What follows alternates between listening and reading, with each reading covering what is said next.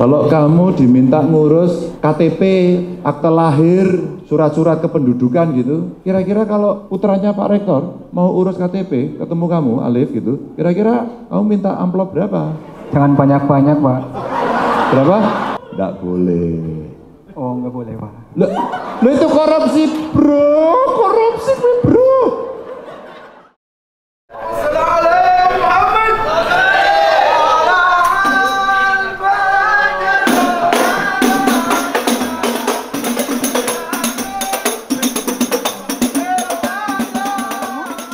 Terhormat Bapak H. Ganjar Pranowo SH MIP disilahkan.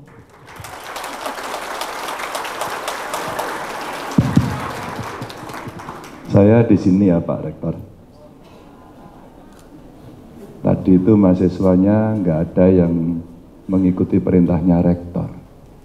Rektor itu tadi bilangnya kalau disebut UPS, Pak Rektor itu perintahnya jaya-jaya tiga kali. Dengar nggak? Dengar nggak? Sampean bilang jaya, jaya, jaya. Salah harusnya jaya jaya jaya tiga kali gitu ya Pak Rektor ya. Mari, wah luar biasa. Perkenalkan nama saya Anissa Pak. Jangan sampai jalan, jangan sampai Oh, jalan. iya, Bapak, Ini iya. dulu. Loh saya belum ditanya kok sudah kenalan dulu. Anissa fakultas apa? Dari PPG, Apa itu? profesi, pendidikan profesi guru Pak. Oh, berarti Dulu alumni UNES. Dulu S- S1 di sana. Betul, S1-nya di UNES. Oh S1. Hah? Oh S1-nya di UNES, ambil profesi di sini. Betul, di oke. UPS Pak. Sudah ngajar. Sejauh ini belum Pak. Dulu malah di Sadewa ketemu Bapak juga, Pasar Daerah Jawa Tengah. Di mana? Sadewa Pak. Program UMKM-nya Bapak. Oh Sadewa Market. Betul. Oh, lumayan ada yang tahu. Program itu nggak laku soalnya. Sadewa Market itu marketplace yang kita buat dari pemerintah, tapi saya sadar waktu itu hanya untuk ngetrit saja. Karena saya yakin pasti pemerintah nggak serius ngurusnya itu. Dan betul. kan kita tahu karakter PNS ya, nggak bisa terus-terusan. Mestinya dipotong, dilepas, diberikan ke yang lain. Mbak Anissa, Iya Pak. apa bedanya? Bedanya, Pemuda Pak. zaman dulu sama Kalau mahasiswa dulu, sekarang. iya, Mm-mm. mahasiswa dulu masih kertas banget ya Pak ya. Kertas banget. Iya. Kalau mahasiswa sekarang apa-apa laptop, apa-apa HP. Oke, Iya. gitu. iya Pak. Kalau ngajar aja kalau di PPG itu semua pakai LMS soalnya Pak. Udah nggak ada lagi pakai tulisan gitu. Ada Oke. direkturnya soalnya Pak. Iya. Ini sambil nyebut-nyebut biar nilainya mudah, biar gampang gitu ya. Ini lobby-lobby juga. Salah, Oke Pak. Siap. salah. Ayo, apalagi jawabannya? Apalagi ya. Kalau mahasiswa dulu sukanya demo ya Pak. Kalau mahasiswa sekarang bikin konten biar jadi kritikan gitu Alah, Pak. kemarin pagar pintu halaman gubernur roboh sama mahasiswa kok gimana? Dua kali udah salah. Kasih jawabannya ya. Apa beda mahasiswa dulu dengan mahasiswa sekarang? Mahasiswa dulu itu sekarang udah tua-tua. Jadi nggak mahasiswa lagi. Nah, tapi serius. Jadi ada perubahan-perubahan antara mahasiswa dulu dengan mahasiswa apa namanya sekarang gitu ya. Tantangan digitalisasi ada, tantangan lingkungan eksternal ada, itu. Kalau tantangan menjadi guru apa? Besok itu mau jadi guru apa berarti? Ekonomi Pak, insya Allah. Syukur-syukur jadi dosen ya Pak, naik tingkat. Oh bisa jadi dosen juga? Ya bisa kalau S2 ya Pak. Oh mesti S2. Kalau jadi guru, guru apa nanti? Guru ekonomi Pak. Di levelnya SD, TK, Bapak. PAUD, SMK atau SMA levelnya. SMA atau SMK? Betul, terdaftarnya harus dari pemerintahannya Bapak ya Pak. Ya jelas. Nggak bisa dari bawah gitu Pak. Ya iyalah kecuali Oke. swasta ya boleh gitu ya. Tapi betul. Kira-kira kalau menjadi guru tantangan yang paling berat menghadapi situasi global tadi yang ada apa sih, Mbak? ngadepin anak sekarang itu yang susah idenya udah jauh pak karena kan mereka Idenya apa apa udah bisa jauh. searching iya Oke. jadi kita yang harus bisa ngimbangin bisa hadir di kehidupannya mereka gitu pak alias bisa jadi influencer juga buat mereka gitu pak Ya. iya Nih, ini, ini, ini. Ini guru zaman sekarang ini. Jadi influencer, dia bisa masuk menjadi mereka, ini keren. Jadi metode apa dari pendidikan, apa ilmu pendidikan yang Mbak Anissa dapat dulu? Menghadapi anak sekarang itu yang paling cocok untuk ngajari mereka agar talent mereka bisa keluar, ide mereka bisa keluar. Kalau Anda jadi guru, metodenya seperti apa mestinya? Biar anak-anak itu cepat tadi itu, karena pengetahuannya banyak ya. Oke, kalau anak sekarang tuh metodenya ini ya Pak, eh, student center learning. Jadi kita lebih banyak Student center learning, learning. betul. Di Oh. kurikulum Merdeka, kita teman-teman dari PPG dan dari Fikip di sini terbiasa kalau ke anak-anak itu bukan lagi kita yang ceramah nih Pak, tapi kita balik metodenya adalah diskusi dulu, dapat insight dari mereka. Oh mereka sukanya ini, mereka dapat ilmu baru, jadi kita yang eh, tinggal mengembangkan aja gitu Pak. Hebat ya. Mbak udah berapa lama kuliah di sini?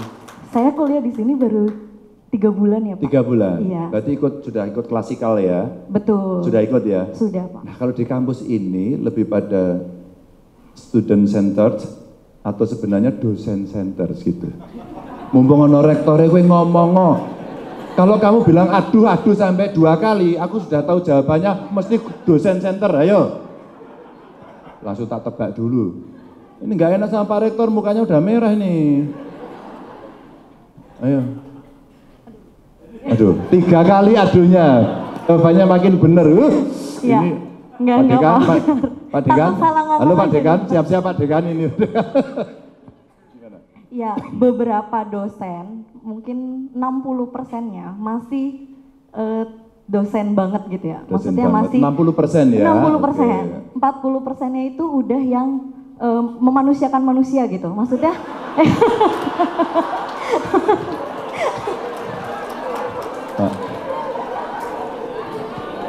Pak Rektor, mohon setelah acara ini beliau dipanggil Pak. Mungkin ada apa eh, pembina atau yayasan untuk mengevaluasi beliau. gitu ya? baik Pak, tapi Jadi saya juga jadi 40% takut ya? nih Pak. Hah? saya juga jadi takut. Lo ngadep sana aja ngomongnya. Sana juga ada wajahnya Pak Rektor. Ngadep sana aja. Iya, iya, iya. Lo nggak apa-apa. Dikritik itu biasa. Jangankan dikritik, lo saya itu dibully juga setiap hari nggak apa-apa. Ekspresinya kita hormati, tapi kita jelaskan. Jadi nggak usah takut. Pak, setelah saya pulang dikeluarkan nggak Pak? Enggak ya Pak? Jadi boleh berekspresi ya Pak? Cuman ini aja kok Pak? Besok lagi enggak Pak? Saya setelah saya pulang ini boleh ya Pak ya? Loh kampus terbuka, wis kritik kan saya ini Mbak, apa nih? 60% dosennya ngawur-awuran? Oh enggak, enggak, enggak, enggak, iya, iya, iya, iya, iya. iya. Enggak, enggak. Hanya 40% yang Sudah memanusiakan mem- manusia, manusia, ya. betul. Jadi yang 60% menganggap ini Masih bukan kita manusia. seperti sistem, iya Pak. Seperti sistem yang tugasnya itu wow gitu. Oh, wow. Iya, Jadi sebenarnya di kelas itu lebih pedagogis atau andragogis itu? pedagogis. Masih pedagogis. Iya. Nah, padahal ini mahasiswa. Mahasiswa itu lebih pada tadi ya, ide-idenya, maka pembelajaran orang dewasa itu ya mestinya lebih andragogis kira-kira gitu. Ya, ini saya tuh seneng soalnya Pak disuruh ceramah gitu ya Pak. Saya belajar dari guru-guru itu. Gimana sih caranya? Jadi student center itu sebenarnya lebih bagus sebagai satu approach untuk mereka ya. Ini contoh aja, contoh aja. Jadi kalau tantangan, kalau saya kasih tantangan gimana ya caranya tadi itu Mbak. Anak SD 6 tahun lah ya. Anak SD 6 tahun begitu kelas 6 lulus dia fluent in English satu aja. Itu kira-kira caranya gimana? Eh, angel. Terbiasa sih Pak.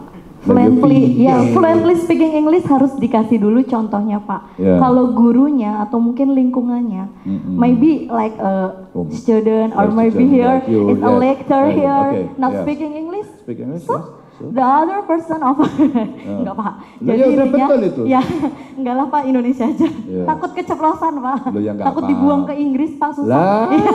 gitu. Ya, jadi intinya kalau misalnya mau lulusan SD itu harus ditumbuhkan karakter terbiasanya dulu. Dari kan saya juga dulu lulusan eh, Malhik 2 dari Brebes Pondok itu juga speaking English well, Pak. Jadi Oke. setiap harinya, Oh. sehari-hari. Setiap hari. Ya, tapi jangan nggak usah ditantang ya, Pak. Udah lupa, Pak. Ini kok lihat saya kayak lihat gendruwo. Wong aku ki meng tekon tok gitu. Iya Pak. Ini contoh bagus. Ternyata daily English penting. Agar apa terbiasa. Saya membayangkan kemarin saya tantang ini pada guru-guru bisa nggak? Nggak bisa Pak, Wong saya juga nggak bisa itu. Lu nggak apa-apa, tapi kan belajar. Atau jamnya ditambah. Atau kelas matematika tapi penyampaiannya bahasa Inggris. Jadi maksud saya dengan kebiasaan itu enam tahun bisa karena itu akan menjadi bahasa internasional kemudian mereka membuka jendela dunia lebih banyak. Ini contoh saja. Tepuk tangan dong. Makasih ya Mbak ya. Ya, sama-sama Ya. Pak. Wassalamualaikum warahmatullahi wabarakatuh. Mohon maaf. Nah saya cerita dongeng ini saya kasih kesempatan bertanya kanan satu kiri satu. Mbak belakang. Maju sini kanan. Cowok pas sini maju. Sampai ini. Sampai ini mau ngacung. Malah. Udah dua aja. aku Sudah saya mau pindah lagi nih. Kamu ngapain? Aslinya mana namanya siapa? Mana tadi? Siapa namanya? Perkenalkan nama saya Muhammad Alif Azizi. Sopo. Panggilannya siapa? Alif Pak. Alif. Alif, Ba, Ta, Sa, Jim. Ya Mbak. Alif apa Alif? Ekonomi dan bisnis. Ekonomi dan bisnis. Oke. Emang cita-citamu jadi apa ambil fakultas itu? PNS Pak. Hah? PNS. PNS. PNS Pak. Oke, kenapa? Biar dapat tunjangan Pak. Pak Rektor PNS juga? Bu PNS Bu? PNS Pak? Loh ini nggak ada yang PNS itu? Dia dapat tunjangan semua? Urusan sendiri-sendiri Pak. Oke. Kira-kira Liv, kalau kamu dapat, eh, kalau kamu tes CPNS, kira-kira menurutmu kamu lolos nggak?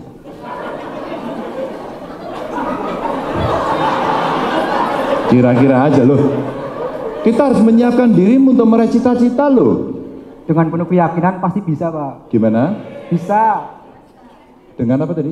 Keyakinan Pak. Dengan keyakinan. Dan takdir yang menentukan. Dengan keyakinan pasti bisa. Siapa yang tentukan? Takdir Pak. Takdir ya. Ya, kamu percaya itu? Percaya Pak. Percaya. Kan nggak perlu nggak perlu belajar toh berarti um, takdir nanti tes ya tes aja. Kalau takdirnya keterima ya keterima. Kalau enggak kan enggak. Usaha dan doa Pak. Cie. Usahanya apa? Belajar Pak. Udah betul. Usaha dan doa, belajar. Ini betul itu. Ya. Kamu ngapain ke sini? Oh mau tanya ya? Tanya apa? Dalam bursa transfer lawangan kerja itu sangat sulit banget Pak. Apa? Sulit. Apa itu? Sulit lah Pak. Oh, sing sulit itu apa? Ya misalnya nih Pak cara biar bisa kerja Hah? Daftar kerja Pak di perusahaan yang benefit. Sa- aku nggak denger nih. Ulangi pertanyaannya, ulangi pelan-pelan, pelan-pelan.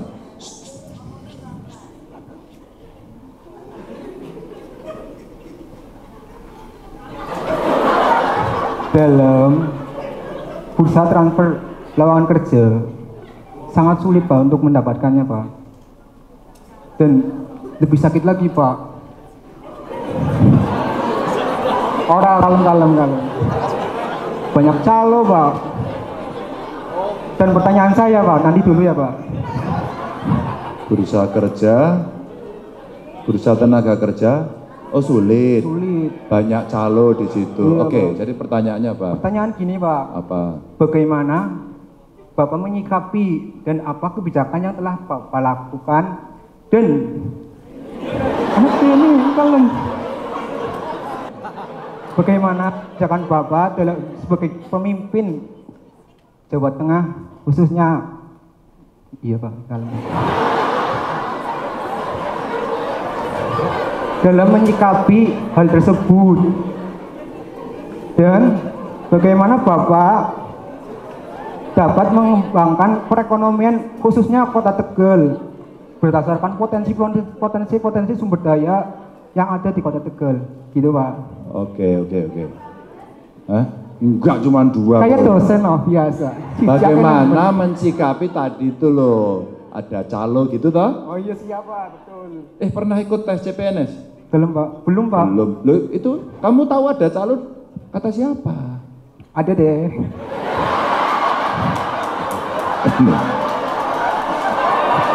Ini khas mahasiswa. Ya. Pokoknya ngomong dulu. Datanya nanti. Padahal mahasiswa-mahasiswa yang keren-keren itu ada Pak. Saya kasih contohnya ya Pak. Penerimaan CPNS di kota Tegal mama kayak gue ya. Ngomong anak gue nama wakil bu. Wali kota Nil. Pak, waktu saya tes nggak keterima. Jajal ke pribadi Pak ya. Gitu kan. Ngomong lah sama beliau. Calonnya namanya Ganjar kayak gue. Sing genah. Siap. Ganjar pegawai nanti pegawai Pemkot. Siapa yang dimintai kakak saya Pak? Berapa dimintai 100 juta? Bawa sini. Wah itu ada datanya kalau ada deh. Jadi pertanyaan ini sebenarnya seperti rahasia umum. Seolah-olah. Tapi kan kita tidak boleh menyalahkan situasi itu, umpama kita tes, maka tandaan saya kalau kamu tes kira-kira keterima nggak ya? Saya diprotes oleh seorang guru, mungkin temannya Mbak Anissa. Pak saya itu jadi guru honorer udah lama Pak, udah 15 tahun kok nggak diangkat. Pasti pertanyaan saya begini.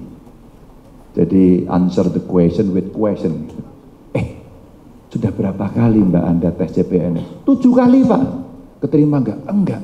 Kira-kira menurut Anda sendiri, kalau tujuh kali tes nggak pernah diterima itu apa artinya? Enak toh? Agar di kepala kita tidak memaksakan sesuatu yang kita tidak memenuhi syarat sebenarnya. Ya sudah mbak, ikut aja program P3K. Karena dia diterima. Diterima P3K. Jadi selalu ada jalan, selalu ada usaha, tapi tidak boleh menyalahkan. Maka data tadi penting. Saya pernah punya pengalaman menarik teman-teman. Sudah jadi gubernur, ada orang yang mengaku tim sukses saya, dan dia adalah PNS Pak Rektor. Dan dia sudah menipu kurang lebih kira-kira tiga orang. Satu orang A 150 juta. Kira-kira gitu. Tapi ada yang jabatannya apa sih honorer gitu 50 juta atau berapa. Menarik. Maka seluruh kepala dinasnya ketakutan. Kepala dinasnya. Karena dia nyebut saya tim suksesnya Pak Ganjar. Habis itu saya dilapori orang yang ditipu ini. Makanya saya ditipu, siapa yang menipu? Staf bapak, staf saya siapa? Saya nggak enak ngomong, pulang saya bilang gitu. Tak usir, loh kamu nggak berani buka kok. Wong saya aja berani, masa kamu nggak gitu? Akhirnya dibuka, saya panggil Pak. Apakah benar saudara mengaku tim sukses saya? Iya Pak, saya tim sukses Bapak. Buktinya apa? Loh saya dukung Bapak, terima kasih. Yang dukung terima kasih. Tapi apakah artinya kalau Anda dukung saya? Kalau saya tidak tahu. Tapi mungkin betul dia mendukung. Artinya nyoblos saya waktu itu. Apakah diperkenankan PNS calo minta duit? Ya tidak Pak. Anda sudah kembalikan? Belum. Karena dia dikejar-kejar. Akhirnya saya minta ketemu, nggak mau ketemu. Suatu ketika saya datang ke orang tua saya untuk halal bihalal masih apa sawal begitu. Saya sudah capek-capek Pak seharian terima tamu Bu. Lagi dipijat gitu, datang seseorang ketuk rumah saya jam 12 lebih sedikit. Rodo nekat kamu nih. Ya siapa itu? Saya bilang sambil ngantuk-ngantuk. Dari Pemprov Pak ya duduk sini. Apa mas malam-malam? Saya anu Pak yang Bapak panggil. Sopo? Saya PNS dari Pemprov. Iya, yang saya panggil yang mana? Yang saya panggil banyak. Maaf Pak, yang kasus jual beli jabatan dia sendiri yang ngomong. Oh sampean, nggak usah sapalan. Udah, mau salaman sekarang. Ya Pak, besok hari pertama ketemu saya. Saya minta maaf sekarang Pak, ya. Ya lebih hanya tahun salaman, udah pulang. Senin ya, masuk ketemu saya. Gak pernah ketemu. Pertanyaan seperti beliau. Di Alif tadi, gimana? Pak pecat. Gampang tuh. Pecat. DKD panggil, sekda panggil, periksa, inspektor, sudah memenuhi syarat, pecat. Mengaku tim sukses saya. Dan itu kejadian ternyata di beberapa tempat. Dipecat. Agar kemudian yang punya potensi-potensi kayak Alif, pengen jadi PNS, Kamu sudah cocok. Umpama kamu jadi PNS itu pengen di bagian apa? Umpama kerja PNS gitu loh. Pengen di PNS di bagian apa? Di mana aja siapa? Oke. Alah nanti kamu melayani masyarakat kamu persulit. Enggak. Alah PNS itu bayarannya kecil loh ya. Ini ada PNS nggak di sini? Tahu PNS? Oh, ajudanku itu PNS. Ini ajudanku PNS. Kamu golongan berapa? 3A, Pak. 3A. Gajimu berapa? Dua setengah. Sama tunjangan berapa? Total. Take home. Hmm? Delapan setengah. Delapan setengah. Pegawai Pemprov. Gajinya dua setengah dengan tunjangan delapan setengah. Itu karena kerja sama saya. Tapi saya pastikan kalau kamu korupsi tak pecat. Kalau kamu melayani masyarakat tidak baik tak pecat. Gitu. Ya. Kalau kamu diminta ngurus KTP, akte lahir, surat-surat kependudukan gitu, kira-kira kalau nanti putranya Pak Rektor mau urus KTP, ketemu kamu, Alif gitu, kira-kira kamu minta amplop berapa?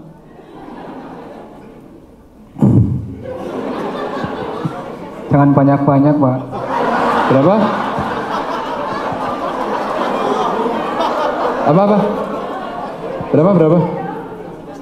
Berapa? Salaman aja. Hah? Salam. Oh salaman. Terus dikasih umpama dikasih Pak Alif terima kasih ya sudah membantu ini sekedar untuk nanti buat makan gitu. Terima, Pak. Hah? Diterima ya? Terima. Terus ngomong apa kamu? Makasih gitu. Iya. Tak nggak kira ketompo. Eh niatannya sudah kayak begitu gimana? Nggak boleh. Oh, enggak boleh, Pak. Loh, loh itu korupsi bro, korupsi bro. Kan dia enggak. Enggak, Pak. Ini memang gini, usul Pak Rektor ini. Usul ada pendidikan anti korupsi di sini setuju nggak? Itu gratifikasi atau hadiah? Apa itu korupsi? Apa itu pungli? Bagaimana ruang-ruang yang membuat terjadi hal itu? Hati-hati ya. Ini banyak kemudian asumsi kok jadi PNS itu gajinya tetap sesuai untuk pensiun untuk seripilan. Lah seripilan ini gratifikasi dan korupsi. Oke, pindah ke sini, Mbak siapa namanya? Seri Intan di Prodi Akuntansi, Fakultas Ekonomi dan Bisnis, Pak. Pentekon siapa? Suruh nama coba. Panggilannya siapa? Intan, Pak. Intan. Iya. Oke, Tan. Prodinya apa tadi? Akuntansi. Akuntansi. Oke, apa pertanyaannya? Eh, izin bertanya, Pak. Setahu saya itu revitalisasi itu kan menghidupkan kembali yang sebelum sebelumnya itu kurang berdaya menjadi berdaya, ya, Pak. Iya, iya, iya. Setahu saya, Pak. Iya, iya. saya- Tahu betul itu. Terus? Nah, menurut Bapak Ganjar tersendiri, eh, bagaimana sih Pak cara membangun pendidikan karakter yang tepat bagi para mahasiswa, khususnya untuk bisa memiliki karakter pemimpin, untuk bisa membangun Indonesia cerdas dan tangguh. Nah, terkhususnya Pak, bukan hanya memiliki pendidikan karakter saja, tentunya menjadi role model bagi para generasi muda. Terima kasih. Kira-kira pemimpin yang menjadi role model generasi muda itu dalam bayangan pemimpin yang seperti apa? Kira-kira? Pemimpin yang Tentu. mempunyai eh, karakter yang baik dan mencontohkan yang baik, Pak. Ayo, apa-apa? Yang seperti apa? Yang konkretnya seperti apa? Eh, yang pertama mungkin eh, mempunyai apa ya? Eh, Dibalik aja kamu ketok repot. Pemimpin yang jelek itu yang seperti apa? Nah, nanti kan ada kontranya tuh. Yang jelek itu seperti apa? korupsi pak. Korupsi. Ampun, Pak. Loh, aku cuman gini kok. Dua. yang kedua apa ya Pak? Ya apa aku yang nggak tahu juga. Cepet mau pulang kamu. Pertama korupsi, korupsi dan korupsi sih Pak. Oke. Maka pemimpin yang punya karak yang berkarakter kira-kira seperti apa? Yang tidak korupsi. Iya Pak. Betul. Betul ya? Ini udah ditanyain temenmu sendiri tadi ya. Yang tidak korupsi Intan tadi menyampaikan. Lalu bagaimana? Harus memberikan contoh itu pertanyaan bagus. Contohnya apa? Ya dari pimpinannya. Pimpinannya harus seperti apa? Jangan minta setoran. Jangan minta dilayani. Ya. Pernah kejadian saya membaca di satu media, menarik begitu. Karena di antara pemimpinnya itu aneh-aneh. Yang terlibat korupsi, ketangkap OTT, Jawa Tengah ada itu. Ya. Malah rombongan sama staf-stafnya. Di manakah itu? Nah, nggak usah dijawab. Ada juga kemudian pemimpinnya tidak memberikan contoh yang baik karena nggak kompak. Ada dulu wakilnya apa? Nggak dikasih sopir, nggak dikasih satpam gitu. Siapa Pak? Hah? Siapa Pak? Ada lah pokoknya. Nah itu itu contoh yang kemudian dilihat rakyat nggak bagus. Maka saya belajar, saya tanya sama gubernurnya yang di sana. Pak gubernur itu gimana gitu. Ya sudah sama gubernur diteleponi satu-satu dipanggili. Mbok damai kan itu jadi contoh tidak baik. Tapi di Jawa Tengah nggak ada itu. Alhamdulillah ya Pak. Alhamdulillah gitu. Jadi kita damaikan, jadi gubernurnya mendamaikan yang di bawah. Ini pada ketawa ngapain sih? Sok tahu. itu. Lalu bagaimana membangun karakter kebiasaan? Tadi itu yang bahasa Inggris tadi. Mbak Nisa tadi. Seperti belajar bahasa Inggris. Kalau tiap hari terus dilakukan maka akan bisa terbiasa. Oke ya. Membangun karakternya dari mahasiswa apa? Terbiasa. Beliau memberikan contoh yang bagus tadi. Alif contohnya bagus. Saya tahu beliau hanya bercanda saja. Tapi kalau kemudian kita menjadi sesuatu, contoh itu ada dua. Best practices, contoh-contoh baik, dan bad practices. Badnya apa? Contoh buruk. Nah tadi ada contoh baik, dan kemudian ini ada contoh. Bukan kamu yang buruk, kontennya bu. Kalau kamu, oh, wah, jadi sebenarnya membangun jejak mahasiswa, antar mahasiswa juga diskusi. Maka tadi saya tawarkan agar bisa magang dan sebagainya ya. Sehingga dengan cara itu kita akan bisa mendapatkan pengalaman yang baik.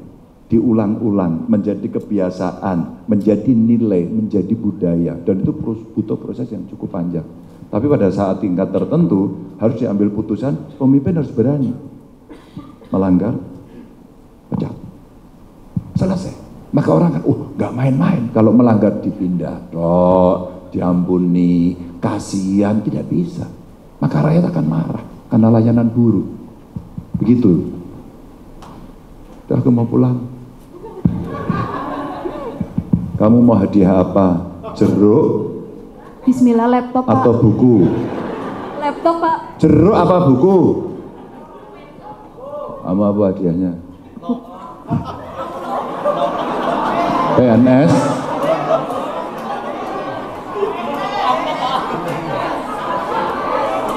Kamu percaya diri, jangan dengerin orang-orang itu.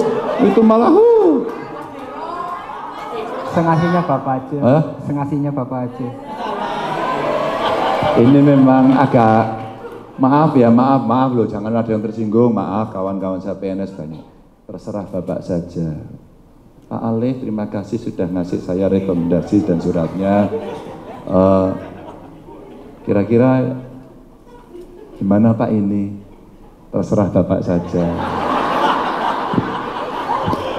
Makasih.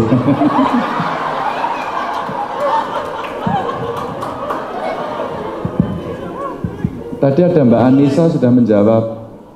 Mbak Anissa mau hadiah apa? Jeruk atau atau saya punya buku Hah? Punya buku buku atau sepeda enggak?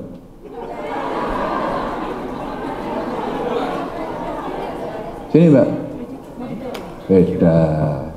Sepeda apa handphone? Mbak?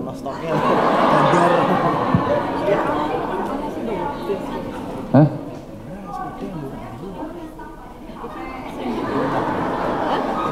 Buku apa sepeda? Sepeda. Sepeda atau handphone? Handphone ya. toh. Ini ciri-ciri imannya tidak kuat. Coba berubah lagi enggak? Handphone apa laptop? Hah? Mas, mana? Handphonenya masih? Mana sini? Handphone saya tinggal satu, maaf ya. Eh, jadi nggak ada dia buat kamu berdua. Buku apa handphone? Buku untuk bisa laptop pak. Mudah-mudahan laptop sih pak. Buku apa handphone? Erok pak. Apa?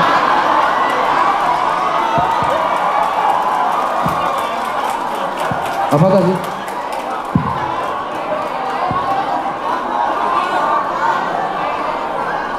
Apa? Enggak pak, enggak. Bujun, bujun. Enggak tadi minta apa? Motor Aerox Pak Gubernur. Hah? Motor Yamaha Apa itu? Aerox. Yamaha Aerox motor. Yamaha? Aerox. Oh, mau itu kamu? Nah, loh, ini mau nggak itu? Mau pak. Mau? Nanti pulang minta bapakmu. Motor kebut-kebutan. Buku apa handphone?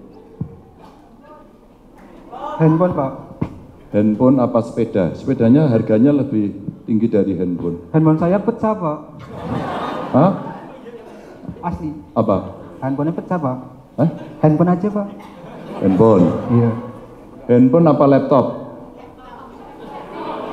Ini soal kepercayaan masing-masing. Orang harus punya keyakinan. Handphone pak. Kalau iPhone 13 nggak apa-apa. Handphone. Ya kamu nggak ada pilihan.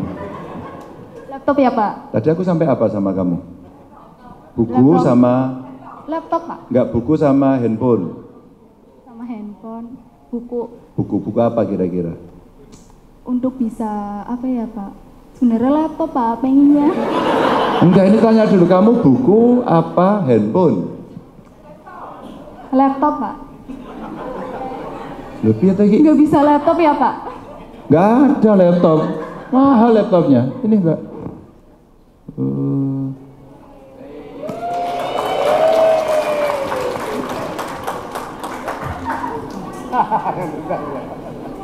Wah ini handphonenya pas tinggal ini mbak satu aja sih mbak.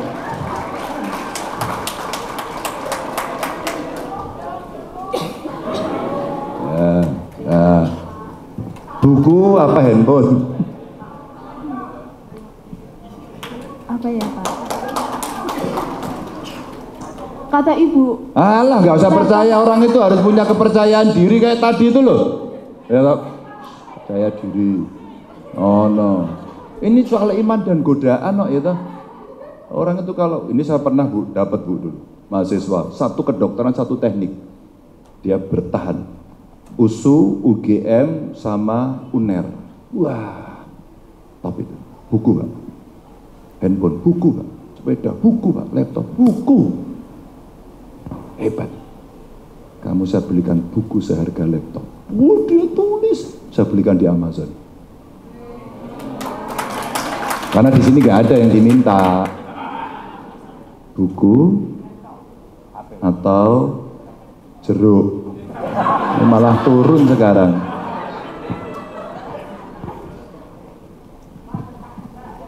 Bismillah ya pak, datang dari rumah pengen laptop pak. Ini ngeyel nih bocah ini.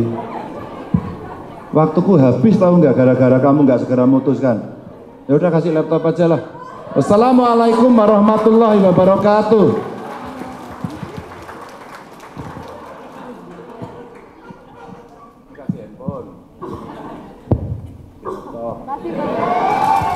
Mbak Intan, Mbak Intan, silahkan untuk ke sini dulu Mbak Intan.